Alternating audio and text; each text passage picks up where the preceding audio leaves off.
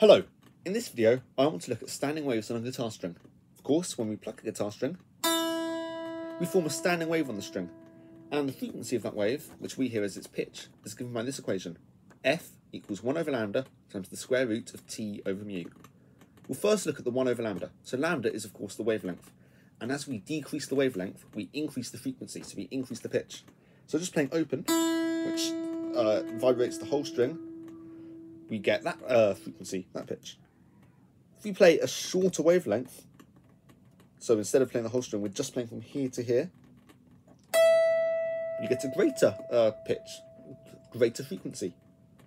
However, as you may be aware, this distance here is only half a wavelength. We've got a node here, a node here, and an antinode in the middle.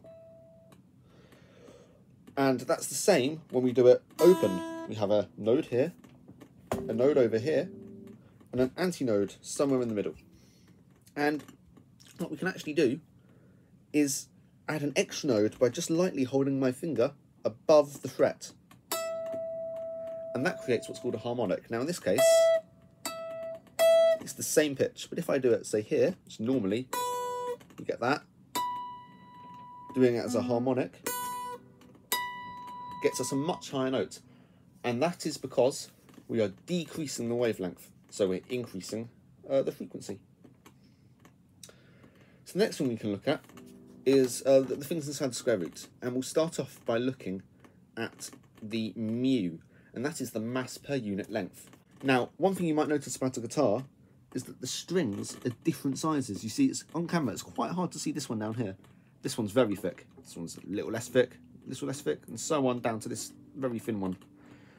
And the thicker strings play a lower pitch, and that's because this mu term is greater, and because it's on the denominator, that means we're decreasing the frequency.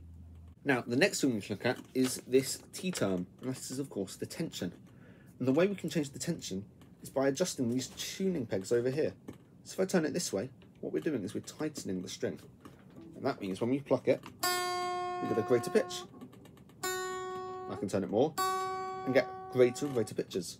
Or I can turn it the other way. Um, and that's going to give me lower pitches.